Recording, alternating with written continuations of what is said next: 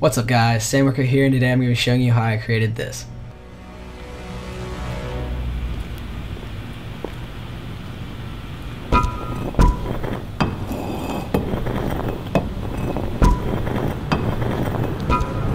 Now yes, as you can see, those are giant dominoes falling down the street. And this video idea was originally just an idea I had for a possible test video that probably never be seen on YouTube. But we sent a Facebook and Twitter post out asking for suggestions for possible tutorials, and we got a lot of feedback asking for motion tracking tutorials and also just 3ds Max tutorials in general. And since this particular video involves both motion tracking and a lot of 3ds Max work, I thought it would be helpful to create a tutorial.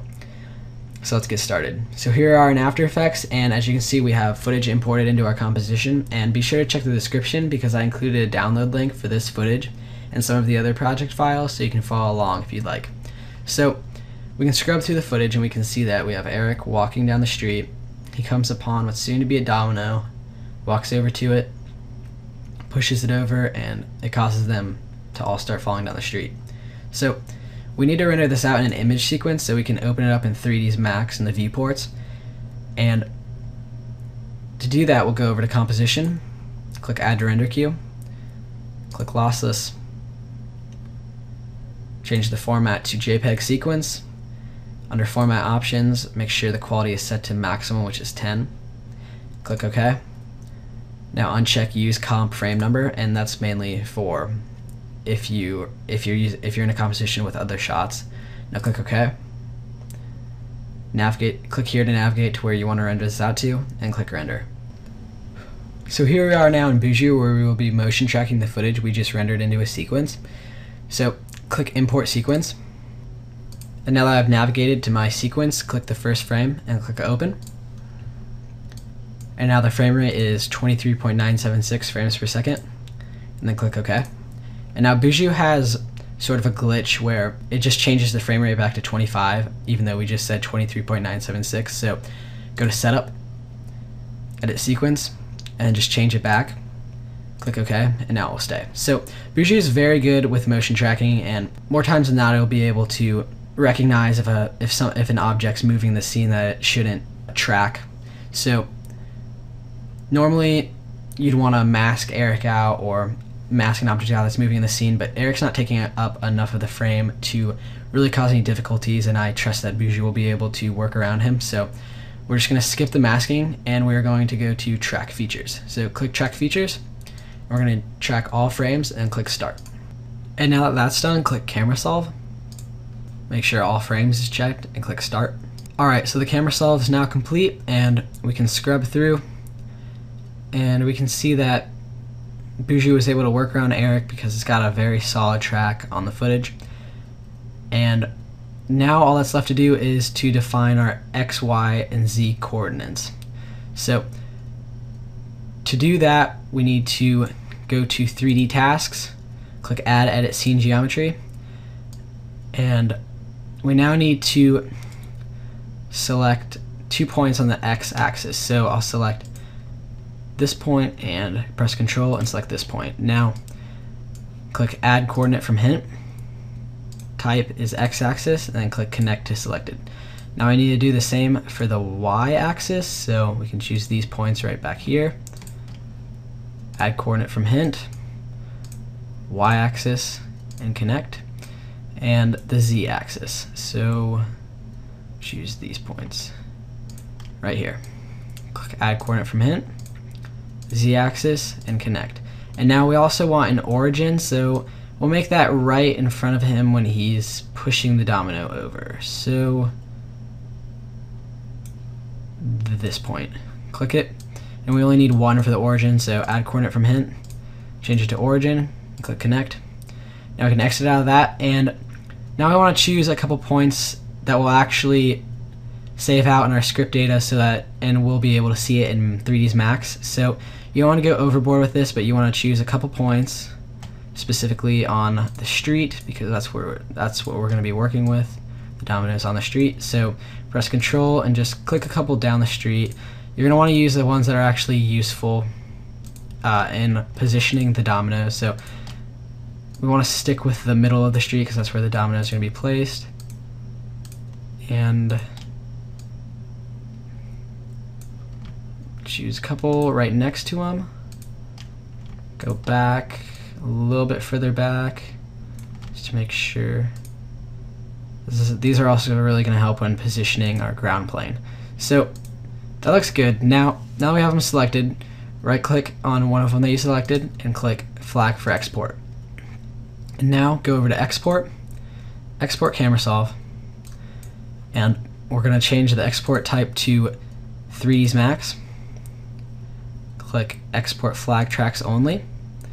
Uncheck this, change this to 0, change scale scene by to 100, click browse and navigate to where you want to save it out to, and then click save. So here we are now in 3ds Max where all the modeling and animation of the dominoes will take place. And as you can see, I already have 8 dominoes pre-modeled just to save you the trouble of having to watch me model all 8 of them. But I will show you how to model one so you can get going on modeling your own. So before we do anything, I'll just go over one tip for moving around and navigating through 3ds Max.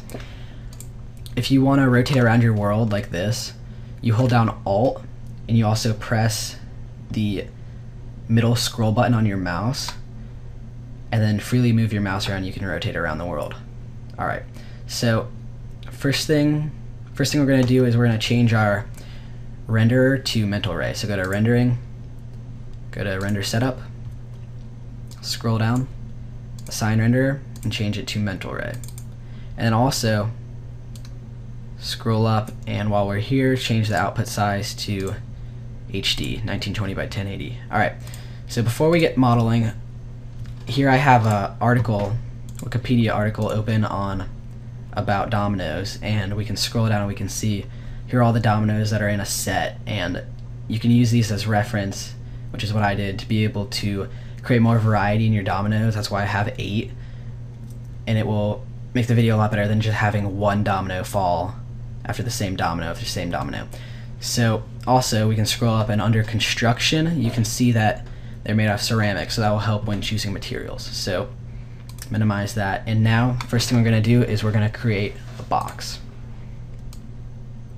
Just drag out and drag up.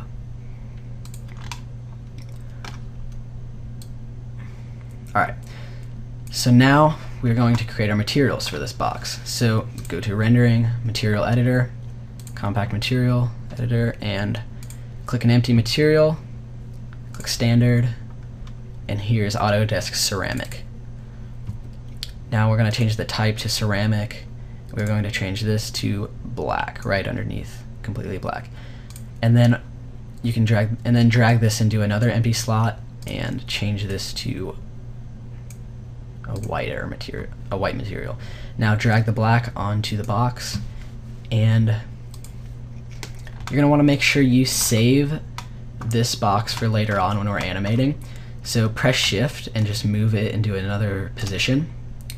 Copy, okay. And then you can hide it. But I already, I already, and then you can right click on it and select hide selection. But I already have my original box for making these dominoes mm -hmm. hidden.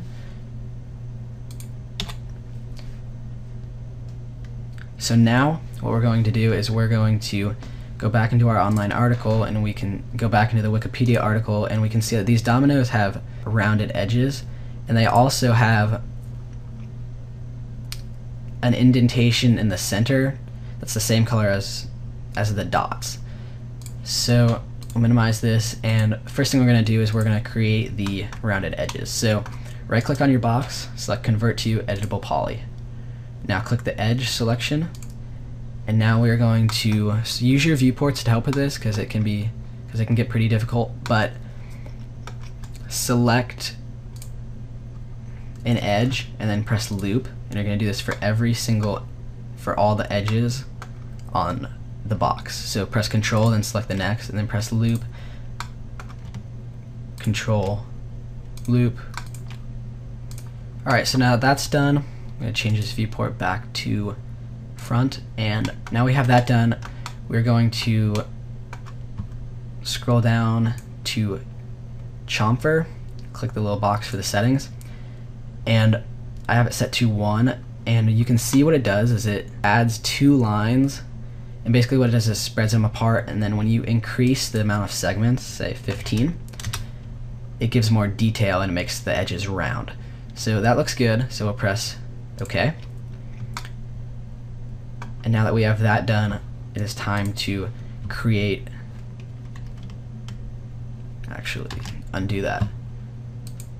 So now what we're going to do, so now, so now what we're going to do is we're going to scroll down under Chamfer and we're going to click the little settings box and put this at about 0.6 and that looks good. And as you increase the segments it puts more detail into creating it puts more detail into the rounded edges. So here are the settings that I have decided to use and then press OK. So now we can click away from this and you can see that there are rounded edges onto the domino now. And now what we're going to do is we're going to create the middle indentation horizontal line that's in the domino. So what we're going to do is we're going to create a cylinder just drag out and drag up and we're going to want to make the radius a lot smaller about 1.5 and make sure you have angle snaps on this helps with rotating. It rotates in increments of 5, so it's a lot easier to rotate to 90 degrees. And what we're going to do is we are going to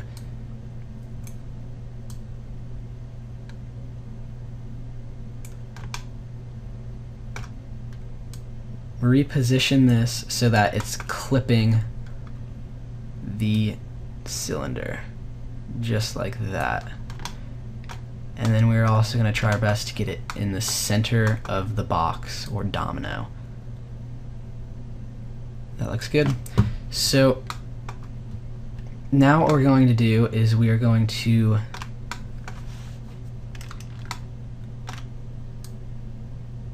That looks good. So now what we're going to do is we're going to select the box, go under compound objects, select boolean, pick operation B, and select the cylinder. And if you look closely, you can see that we have successfully cut that cylinder out of the box. But now we want to make this now we want to make this part white. So what we're going to do is we are going to right click again on the box, select convert to editable poly, and then when you select the polygon selection, it's already selected. So we can go to rendering material editor and we can select the white and a plot. Rename this. Oops. Okay. So now we need to do that same technique to create the dots. So I'm just going to create one dot to show you how that's done. So we're going to create a sphere. Again, play around with the play around with this. You can do it multiple times to get it the way you like. And also, a good a good thing to do if you're creating multiple dominoes like this is to go ahead and use that same technique of pressing shift to clone it and move it out of the way just so you have it for the next one. So you can make, so I can make this domino with the two dots and then basically I'd already have this done with the rounded edges and the indentation to create the next one and just keep always keep a uh, duplicate off to the side so that you can move on to the next one without having to make a domino for every single one and you'll have an exact replica of the domino with just different dots. So going to make this circle clip the domino just like the cylinder did and you can reposition it to get it in the middle and what we're basically going to do is just the exact same thing select the box compound objects boolean pick operation B click the sphere and look it already and then there you go you've created the dot and it's already white because we've already applied the white material to the indentation so that's the basics of creating the model, and now we're going to move on to animation. So now that all the modeling's done, it's time to move on to animation, and for the simulation of all the dominoes tipping over, we're going to be using a third-party plugin for 3ds Max called Rayfire, and it's a physics plugin. So before we animate these dominoes tipping over and use the simulation, we need to evenly space these out and they need to be a lot further apart. Now, right now we have eight dominoes. I'm gonna increase that to 10, so I'm just gonna duplicate the first two, just press shift and then I'm gonna move them back along the Y axis. And now I'm gonna unhide the box I told you guys to save when creating the first domino. I'm gonna take the Y position of the first domino and paste it into that box. And now I can move this behind on the X axis. And now I'm going to evenly space this out by making an array. So I'm going to click Tools, Array, and make sure instance and the count is 10 dominoes, well 10 count, and I have the incremental already set to 65 on the y-axis. And we can preview that, and that seem to work well. I can you can low uh, when you lower it, you can see how they get closer together and further apart. So around 60, 65 should be good. So click OK.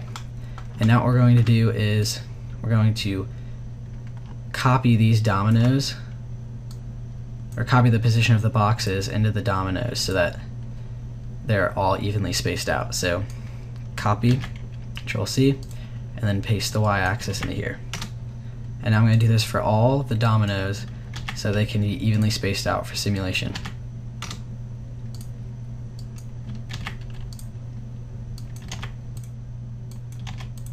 Alright, so now that's done, we're going to select all these boxes and we can hide them. Object properties, hide, okay. And now we have all the dominoes evenly spaced. So now we need to create a plane. This will act as our ground plane, or otherwise known as the street. So we're just going to quickly create that, and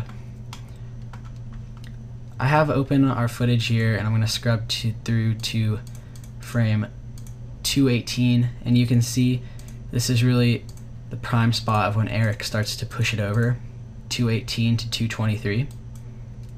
So when you import your motion tracking data, it'll make the length of the sequence the length of the actual motion tracking data. But since we're doing the simulation first, I'm going to need to manually do that. So click the time configuration button, and then the length is 429 frames and OK. And that's how many frames are in the sequence. So now from the frame 218 to frame 223, we need to create an object that will act as Eric's hands tipping over the first domino to start the reaction process. So we're just going to simply create a box about that big. And we'll move this over and we're just going to put it right next to the domino. And then move it upward. When Eric's press, uh, when Eric's pushing this domino over, it's about a little bit above halfway. All right, that looks good. So now we're going to press Auto key, set a key down, and then move over to frame 223. And I'm just simply going to animate this over like so. So now we can play back and we can see that simply just moves forward. Alright, so now we have that animated, it's time to move on to Rayfire, where we will define our objects in our scene for the simulation. So go over to Rayfire and we're going to open up the Rayfire floater. So here's Rayfire and you can see I've already set up my frame, my frame timing. Uh, it starts, the simulation will start at frame 218 that's right when the box starts to animate, and the simulation is going to end at frame 429. You're going to want to make sure you set that up. And then substeps that'll originally be set to 5, you're going to want to change that to 1 for this particular sequence. And then objects. We're want to make we're want to set all the dominoes to to be sleeping objects. So sleeping objects are only going to react if they are hit by another object. And those objects will be the plane and the box. And those are going to be static objects, meaning that they aren't going to be affected by the simulation. So any animation will remain the same that we applied to it. So now you can see I've already kind of set some of this up. Um, I've changed this material to concrete. That's the ground and just the box. And down here for the dominoes, I changed it to light metal and I, I turned down the density and also the friction because when these are tipping over, you don't want there to be a lot of friction between these two because originally dominoes are glossy and have a lot less friction than say concrete would. So it makes it easier for them to tip over. And if you have high friction, they can get stuck and they won't all tip over. So that looks good. So now we can go over to the physics tab and make sure everything's set here. And then we press simulate. So the simulation is now complete and we can scrub through and we can see that the dominoes are all tip over just like in real life. And the key to this was really to make sure that you set the friction between the dominoes to be really low so they don't stop each other from falling over. And now this is complete, it's time to move into motion, the motion tracking data. So we're gonna exit out of this and we're gonna select this box and say object properties, uh, renderable and hide, just get rid of it. And we're also going to select all the dominoes and we're going to grab the select and link tool and link them to the plane. And this is just like parenting in After Effects. And it'll allow all the dominoes to, it'll link all the dominoes up to the plane so they fall along with the plane. So we also want to add a plane material. So we're going to the material editor and we're also going to go to the render setup. And we're going to quickly revert back to scan line just to get a material. So grab an empty slot, standard matte, uh, matte shadow, and I'm gonna change it back to mental ray, exit out of that, and now just drag and drop this onto the plane. All right, and now we can exit out of that and navigate to your motion tracking footage, or your motion tracking script, and here it is. So I'm just gonna drag this out, and you can see that we get an error. So there's an easy fix for this. All you have to do is open up Notepad and just drag and drop the script in there. And it's these lines of code right here caused the problem. So delete them, file, save, and now you can drag it in and it shouldn't cause a problem. So we can move this off to the side now and we can now see the camera data and everything's in there. So one more thing we need to do is set up our sequence to be in the background. So what we're going to do is we're going to go to environment, use map, click none, standard bitmap. Navigate to the footage, select the first in the sequence, make sure sequence is selected, open, okay, and go to views, viewport background, viewport background, use and display.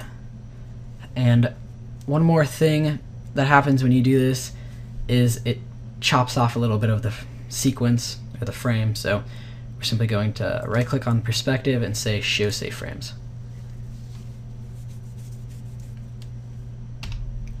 All right, and now we can mess with the motion tracking data that we have that all set up now. So we're going to select all the motion tracking data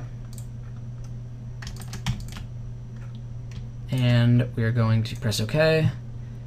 Angle snaps is still on, so it's going to be easier to rotate, and we're simply just going to rotate it 90 degrees, and we're going to rotate it back around. Alright, so now we're going to right click on perspective and view from the camera. Now we're viewing from the camera and we are also going to now use this viewport for looking around at everything. So I'm to set this up real fast. The grid's pretty annoying, so press G to get rid of that, and wireframe, get you to smooth and highlights. And now we can select our motion tracking data again. Whoops, okay. And um, so select that, okay. And we're going to simply scale it up and we're also going to turn off angle snaps. And we now need to just mess around with this to get the perspective right. And What really helps is to have Notepad open because what we can do is can quickly uh, make this plane see-through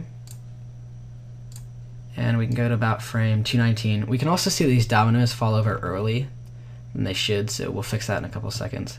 And we can see that at frame 219, we need this little tick that we flagged for export because that's going to be the position of the first domino. So we're going to copy the coordinates and just paste them into a notepad document. So copy all these values and paste them into the notepad document. And then what we can do is we can copy and paste them back onto the plane.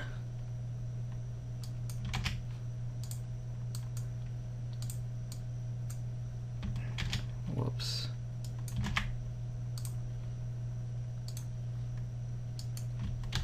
Messed up with that one.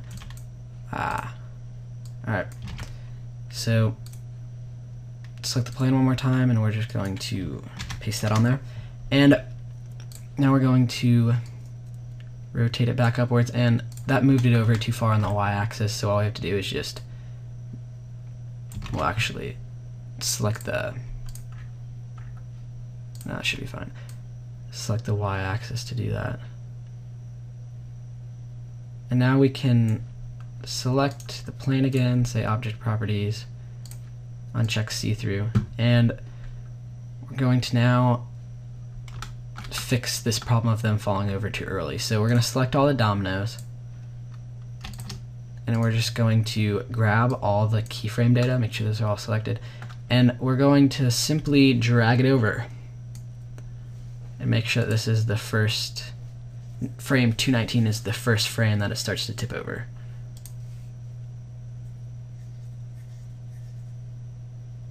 Alright, that looks good. So, since this is an outside shot, I'm going to be using a daylight system. So head over to the systems, daylight, yes, drag it out, drag it up. Uh, the day was the 10th. Get location, we're in South Carolina. Alright, North Carolina, program wins. Um, we can, we need to change this to mental ray sun and mental ray sky. Alright, that's looking good. Uh, we can go under, okay, we now need to go under the environment and change the to photographic exposure. Exposure was about 200. It was 200 actually, and the aperture was 9. Alright, and you can see for some reason uh, I must have moved the plane.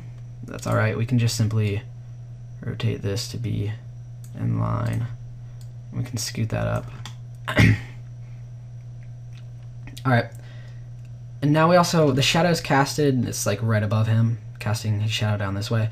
So we just need to quickly change the position of the sun to be about like that. That should be good. And a little bit over that way. Okay, and now we're just going to do a quick test render. So render. We definitely need to move the dominoes further back. He looks like he's like basically pushing over something that's not even there. We now should work on reflections. So we're going to create a sphere and we're going to extend it over our scene. Alright, uh, we'll move it over just a little bit this way. I'll give it some more segments as well in the modify, about 100. And we're going to add a modifier to it, and it's going to be a normal. And then we have a picture. It's a 3D panorama with the with an app called Photosynth. It's an amazing free app. Guys should definitely check it out. And it did create a little bit of uh, mess ups, and it does have some uh, chopping off at the top and bottom, or the top and bottom of the frame. But it looks great, and what we're going to do is map this to the inside of the sphere, but before we do that, we're going to clean it up in Photoshop, just some of those errors. So I'm dragging the picture now into Photoshop, where we'll clean it up just a little bit. And one thing Photosynth does is puts these black bars on the bottom and top of the picture. So we have the clone stamp tool selected and you can change your brush size and hardness here. So press Alt somewhere on the footage. Press Alt and click somewhere near the click somewhere on the asphalt and start painting it out.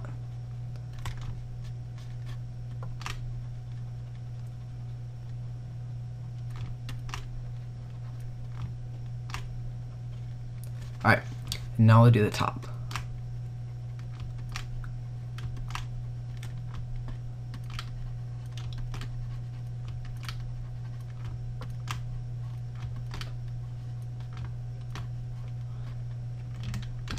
Okay. Alright, very simple fix. Now, also, if you zoom in here, you can see that there there are a few mess ups, but it won't affect the the reflections too much, but we can go ahead and fix them. So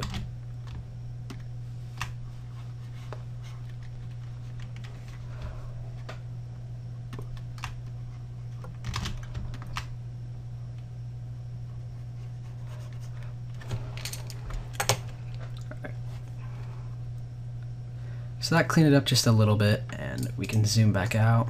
That's looking good, so we'll save this back out and go back into 3ds Max. So we're back in 3ds Max, and we can take that image we just saved out from Photoshop and drag it into the material editor in an empty slot. And then we can drag that material onto the sphere.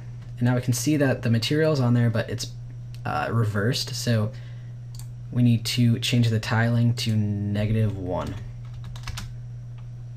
And that fixed that problem. Now we can rotate the sphere around and give it the correct position of the actual environment.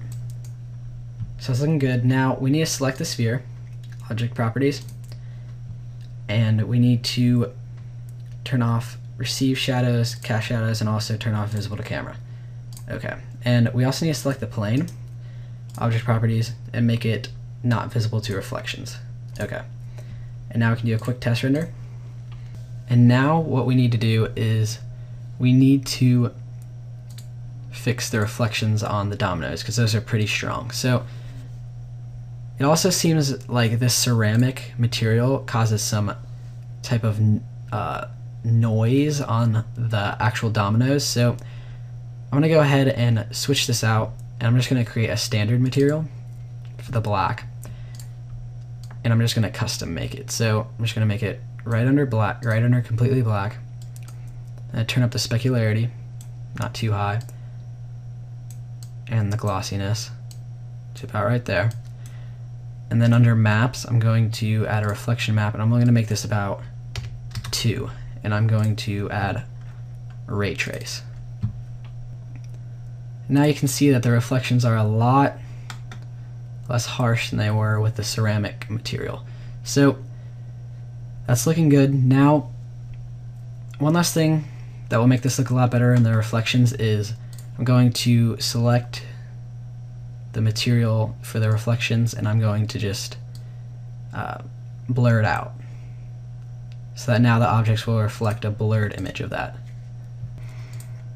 Now it is time to render and I'm going to be rendering this out in three separate render passes which I did a tutorial about on this channel that you're watching this video on and basically what we're going to do is render it out in three passes which is the original shadows and the ambient occlusion, and then we can composite them in After Effects. So if you don't know how to do that already, go watch that tutorial, and we will continue on with this tutorial in After Effects with all those sequences.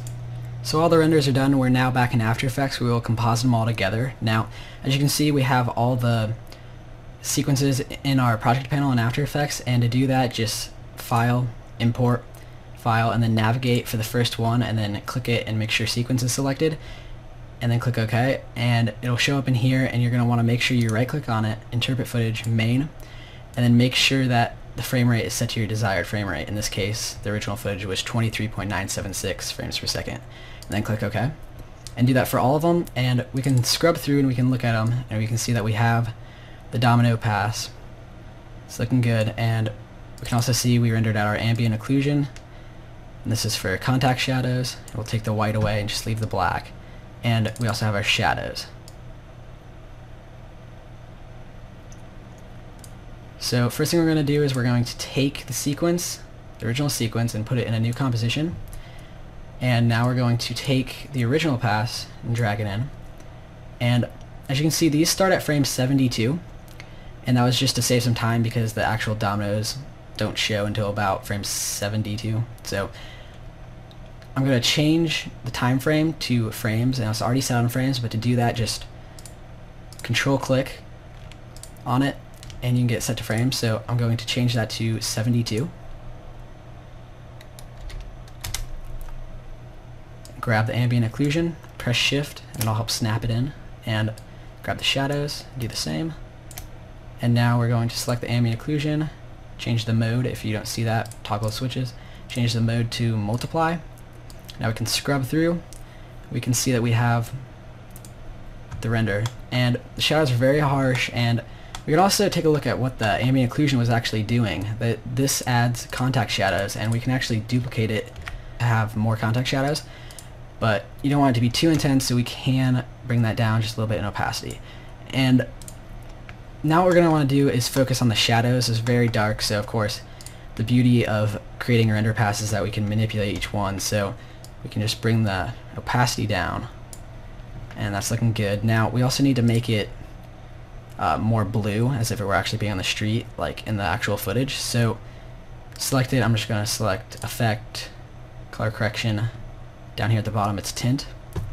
I'm going to select the actual shadow of Eric and I'm going to change that to a more blue ish color. And I'm going to also pick that and now I'm just going to lower the amount of tint you can see that we're getting a very realistic look now. So one other thing we can do is add blur to these shadows. So we can select it and effect, blur and sharpen, fast blur, repeat edge pixels and put it at about 3.